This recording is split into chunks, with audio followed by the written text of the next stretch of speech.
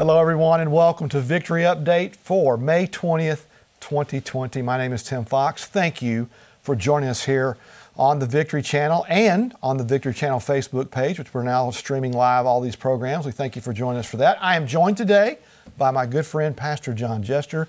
Good day, sir. Hey, Tim, how you doing? Well, I am doing great. You know, it's always a joy to be with you because you always bring uh, a spirit of joy with you wherever you go. I've well, never been around God you for when you that. weren't smiling and full of joy. Praise God for that. You know, it's a choice. You got to choose to Yes, smile. absolutely. it is. Amen. There's a lot of reason not to smile, but there's always a good reason too. As long as you have Jesus, you can always choose that option. Don't make me preach in here, Tim. You about to do it. About- All I have to do is just throw a little bit of it out there. it. Don't do now, it. let's start off the program and get you caught up with today's news with Mike Garofalo. Let's take it away, Mike. The Paycheck Protection Program was designed to help small businesses continue to pay their employees while they were closed due to the coronavirus. Now it turns out, as Fox News is reporting, 37 Planned Parenthood affiliates applied for and received $80 million from that program, and the government is now asking for that money back. The rules for PPP money clearly state affiliates of larger organizations with more than 500 employees are not eligible. Two breached dams caused by several days of rainfall in Michigan has forced 10,000 people from their homes. The first breach happened at the Edenville Dam, located about 140 miles north of Detroit. The second happened about seven miles downriver at the Sanford Dam.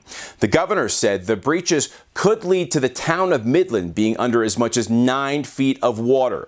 This latest evacuation order is the second one in less than 24 hours. The National Weather Service says a slow moving storm system will continue to produce heavy rain and flash flooding across the Appalachians into parts of the southeast and mid Atlantic through Thursday. The system could bring torrential rains and dangerous flash flood conditions are also very likely. Also, severe thunderstorms are possible today across the northern high plains. Nearly two weeks after the Department of Justice moved to dismiss the case against former Trump National Security Advisor Michael Flynn, the retired lieutenant general's fate is still up in the air. Now, Flynn is asking a federal appeals court to accept that request for dismissal by the Department of Justice. Flynn made that request since the district judge handling the case, instead of making a decision, asked a friend of the court to argue against dismissal. Flynn's lawyers, along with asking for dismissal, also asked that the appointment of a friend of the court be vacated and a different judge be assigned to the case. The United States and Canada have decided to extend their mutual agreement to keep their border closed to non essential travel to June 1st during the coronavirus pandemic. We know that we need to do more to ensure that uh, travelers who are coming back from from uh, from overseas or from the United States as Canadians uh, are properly followed up on, are properly isolated, and uh, don't become further vectors for the spread of COVID-19. Essential cross border workers like healthcare professionals, airline crews, and truck drivers are still permitted to cross. The restrictions were initially announced on March 18th and then extended in April. Wearing surgical masks can significantly reduce the spread of COVID 19. That's what a new study out of Hong Kong found. Sky News is reporting a team of scientists learned that the rate of non contact transmission through respiratory droplets or airborne particles fell by about 75% when masks were used. Researchers also found that if masks were worn by just 50% of the population, the virus would continue to spread. The study by the University of Hong Kong comes while some medical professionals and the World Health Organization have questioned the effectiveness of face coverings. Well, plan to vote on November 3rd or whenever your state's early voting happens. Then watch America Stands, election coverage in the spirit of faith. Election night right here on Victory. Back to you in the studio. All right, Mike, thank you very much. John, uh, in that piece that Mike just did, he talked about the floods there in Michigan. And I know this morning during morning prayer, you all prayed about that. And if you need prayer for that or anything, John, our prayer, sir, prayer department's open, isn't it? Yeah, absolutely. You know, we have trained prayer ministers who are licensed, and not, they're not just licensed. We say that because we want you to know that they're qualified. Yes. But they are anointed to pray with you and pray from the side of victory. You know, when we when we play when we um, show our news break, like like we said before, we kind of joking, but there's so much opportunity to take a downside look at everything that's going on. But I want you to know God is still Yes. on the throne. Yes. He's still in control. Yes. He hasn't lost control, and we pray like He's in control. We do. You know, we That's we right. we use that vehicle of prayer to make our petitions known to the Father. We go boldly before the throne, and so that's what those prayer ministers there are. And if you need a prayer, if you need prayer, call 877-281-6297. That's the number to call to get one of our prayer ministers. They're there all throughout this program and even after this program. So call anytime. They will be able to pray with you. And you mentioned, John, about uh, the fact that you could take a downside to some of these news stories. You know, none of this is news to God. No. None of this is news to him. No. And he knows the end of the story. That's absolutely right. He does. He does. You know what? This is a perfect time to tell people about our free product offer. Off- you know, yes, Because awesome. a lot of the prayer requests that we get are protection related. Sure. And this is our free product offer this week only. Under His shadow, finding safety in the refuge of the secret place. It's a three CD set. You can download it absolutely free. Go to govictory.com slash victory update and get your copy. This will change your life. Amen. Well, we have a lot of things going on around here at KCM that we want you to know about, but one of the things we really want you to know about is the KCBC virtual event meeting coming up on May 30th. Take a look at this. Are you interested in learning more about Kenneth Copeland Bible College?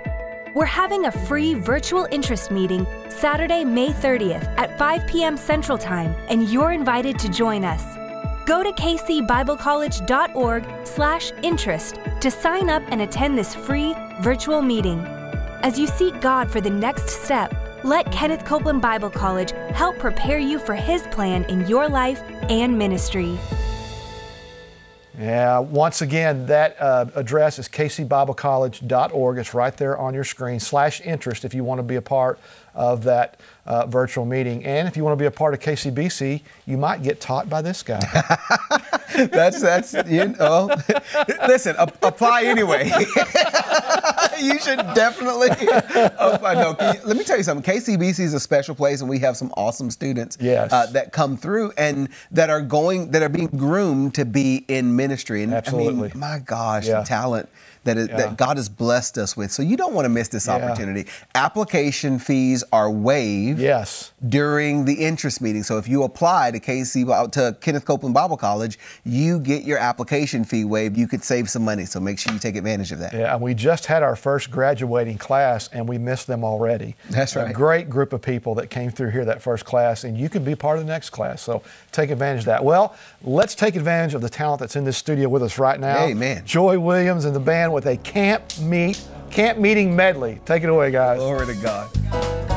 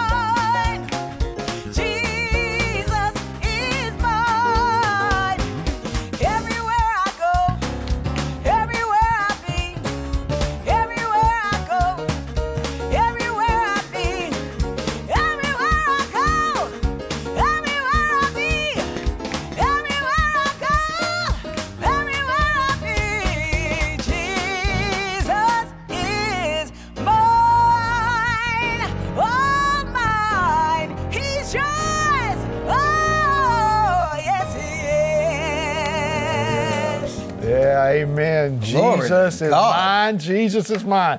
I'm surprised you're still sitting down. You know, there. I'm. I'm telling you, it's getting harder and harder to maintain my composure I know. in these programs. Y'all just. y'all- I think. I think somebody's doing it on purpose. On purpose. Yeah, they just want to see me run. See how, Shock 'em. well, if you're at home, get up and run. It's okay. We- Amen. We, don't mind it. So let's get to our guest. Happy Caldwell and his wife, Jeannie, are founders of Agape Church in Little Rock, Arkansas from 1979 to 2014. Happy is also the founder of Victory Television Network. Happy teaches the Word of God with a simplicity that brings a revelation of the character of God. He and Jeannie have traveled worldwide for over 40 years, preaching and teaching, and they've recorded several gospel albums. And I might, I might put in here, he's one of the nicest and funniest guys you'll ever meet.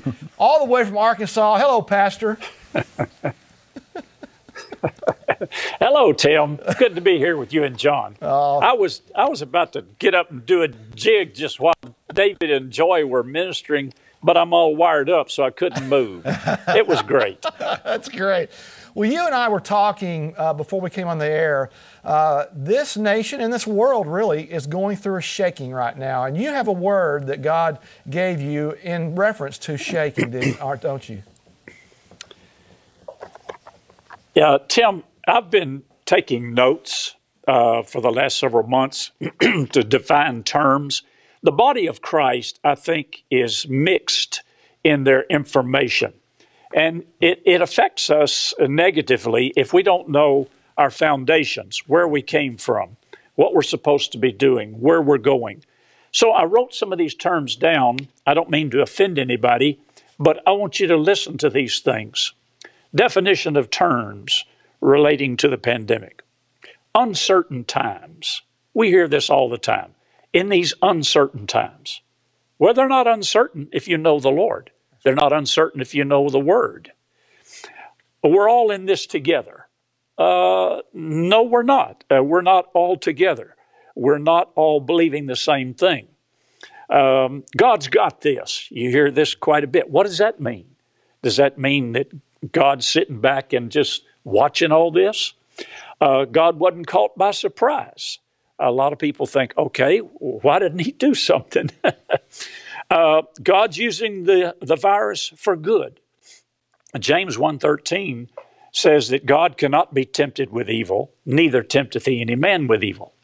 So God is not using evil for anything. What Satan meant for evil, uh, God is using for our good. You can always apply that and interpret it through James 1.13. Um, then the infamous scripture that you hear all the time, Romans 8.28, all things work together for our good.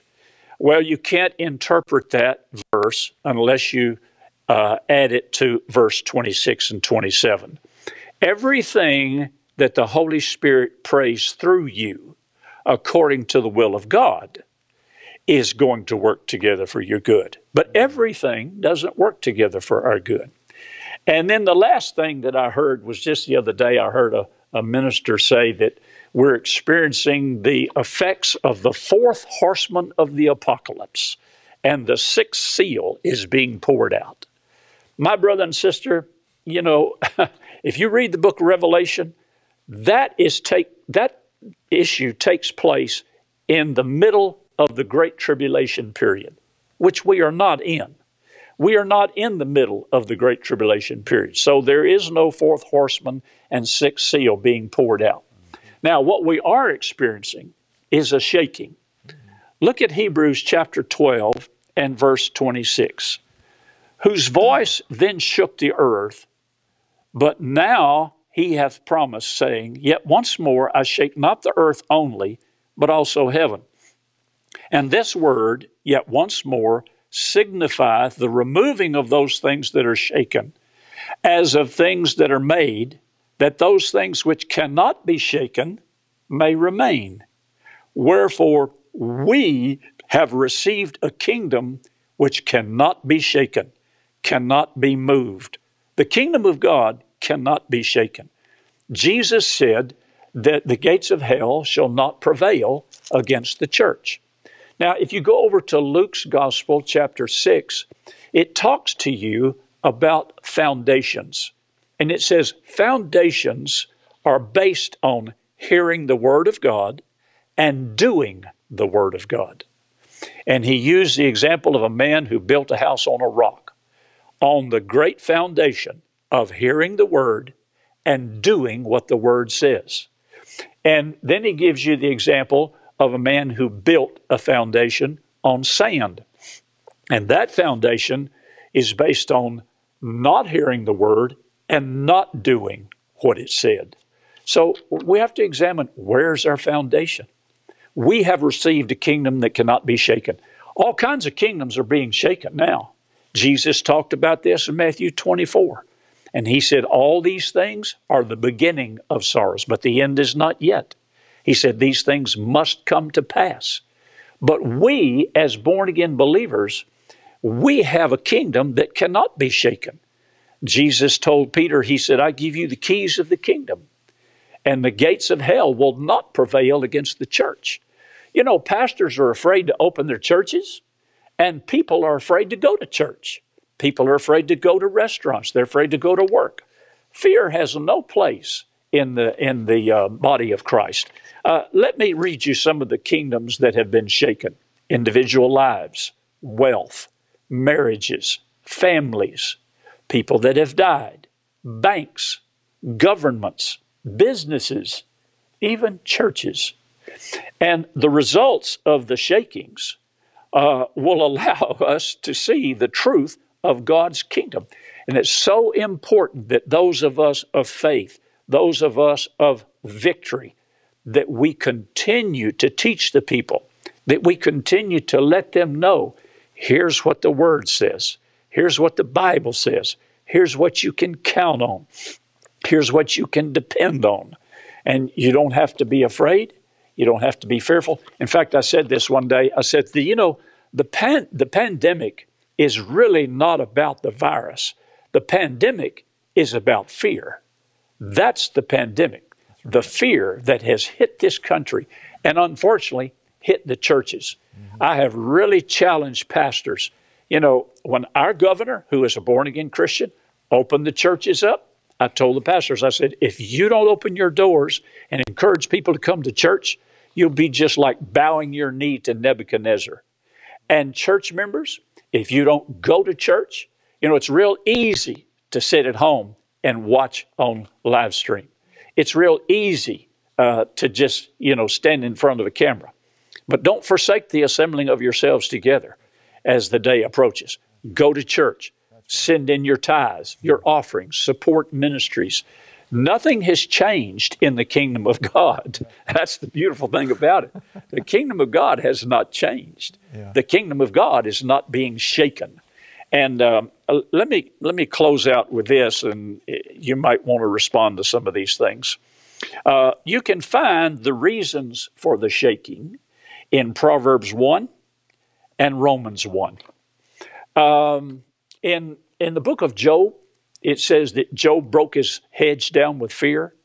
God had put a hedge around about him. Ecclesiastes says if you break a hedge, a serpent will bite you. We've broken down our hedge in America with two things.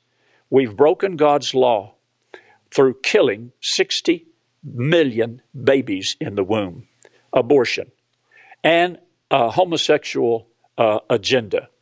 Uh, which is an abomination to God. And a lot of preachers don't want to talk about that, but that's how we broke our hedge down. The thing that is coming against the countries is because we have allowed that hedge to be broken. And we've got to stand up against that. Now, uh, I'll throw it back to you, Tim. You have any questions yeah, or anything else that I you'd do, like actually. me to I address? Up, I want to pick up on something you were talking about there.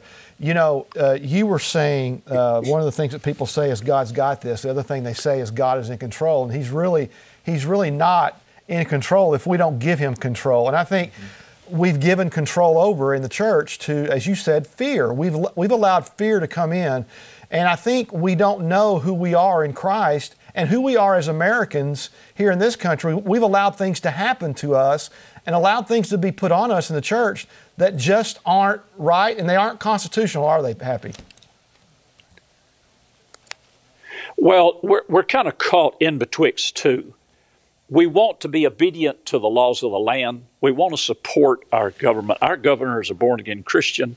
I sent him an email the other day and I said, you know, it's not right for the uh, beauty salons, barbershops, tattoo parlors to be open and the church to be closed. The next week, he opened the churches. We're trying to be obedient. He doesn't want to arrest anybody or put anybody in jail. And he made a promise. He said, There's nobody going to be checking on you to see if you're six feet apart or if you've got on a mask. He said, We want the churches to be open. But if the pastors don't respond to that, uh, then the church members are not going to respond to it. So you're trying to obey the laws of the land, but you've also got to obey the Word of God. Don't forsake the assembling of yourselves together. It's easier to sit at home and watch TV. It's easier to sit at home and watch the internet. It's easier for pastors uh, to do virtual uh, church meetings or conferences. But what God wants us to do is He wants us to continue. I don't believe that we should accept what's going on now as the new normal. There you go. We sh- we have we have the, the Bible tells us what normal is, and so while we're we're trying to uh, obey the laws of the land, we have a greater responsibility to to obey God and to obey His word. But we have to know that God's not our problem. Right. God's not judging us. He's not sending the virus to correct us. I had had one lady said, "Well, you know, one thing the virus has done, it's brought our family closer together, and we've been able to pray together." Well, that could have been initiated by the Holy Spirit, probably was, and you just didn't act on it. Yeah. God doesn't use sickness and disease, plagues and pestilence to train us and guide us. We shouldn't be motivated by that to even be revived. Yeah. We are revived by the Spirit of God not by a pandemic. Right. Yeah. Uh, or else, if you respond to the pandemic, you've responded to the wrong thing. Yeah, I know, uh, Pastor Happy, okay. that, that you have you have pastors that you mentor and people that look up to you. Take about three or four minutes here to talk to people about what are you telling the pastors that are underneath your leadership and people just around the country and around the world about how to go forward, how to deal with what we're dealing with, and how to come out of this thing on the other side better than we were. Well, our church is uh, uh, obeying the request that the governor sent down, um, but we uh, are not uh, stopping holding church services. Uh, we have people seated every other pew and uh, six feet apart. the offering bucket is out in the middle of the auditorium where people can go and put their tithes and offerings in. Um, we've ha- gone to two services on Sunday morning uh, for those that want to come at 9 and then those that want to come at 10.30 we've made adjustments but we haven't changed our our uh, vision and our focus and i encourage pastors to be very careful about that our church is the only one uh, that is open and holding services in in our uh, in our city uh, the other churches are still closed well we have a we have a responsibility a calling and an assignment, and that has not changed. So you just need to be encouraged. You're trying to uh, be respectful of, of the requests of the governor and the officials, but you're also uh, not uh, failing to fulfill your assignment. So I encourage pastors and churches to, to, to get back to uh, where they were and continue in faith. I mean, we're faith people, and people need to see the demonstration of our faith out in public. Amen. Amen. Amen. Before we let you go, sir, would you take a moment and just pray uh, over our viewers, over our audience, over pastors and uh, people that have been affected by this as we go forward? Yeah, Father, I pray right now for this for the spirit of the anointing uh, to come upon pastors, to come upon church members, uh, ministers. I pray, Father, that you would stir people up to continue supporting their church, their tithes, their offerings, continue supporting ministries like Kenneth Copeland Ministries, uh, traveling ministries. Uh, I pray for the pastors to have a spirit of boldness upon them. And the anointing destroys the yokes and removes the burdens. I thank you, Father, for your anointing to deliver people from fear and anxiety and worry. And I pray in Jesus' name, amen. Thank you, Pastor. Thank you, Tim. Thank you, Pastor. I look forward to the day that we can see you in person again at one of our meetings and uh, and hug you. Yeah. I'm looking forward to that, Tim. All right. Thank God you, sir. you. If you guys want to know any more uh, about Pastor Happy and his ministry, it's vtntv.com is the website. vtntv.com is the website that you want to go to.